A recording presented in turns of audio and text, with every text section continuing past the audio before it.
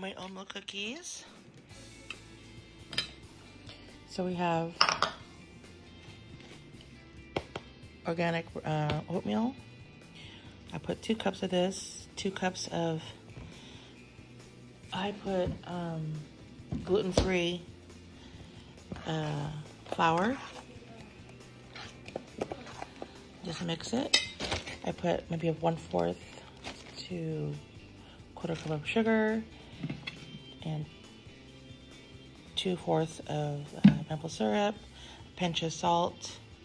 I was to put condensed milk, but Chloe's been allergic to milk lately. Um, I might top it with this, though, a little bit of cream cheese later. I don't know.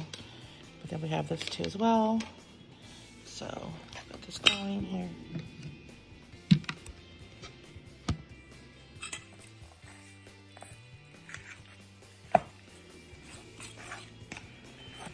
Those this consistency right here. See a little bit of cinnamon, cinnamon if you want. Oh, and then one egg too. I put one egg.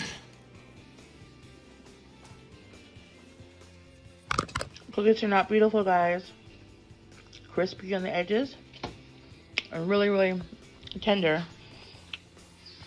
Sorry, we kind of devoured it. So this is gluten-free. Oatmeal cookies. And crunchy really, really soft in the middle.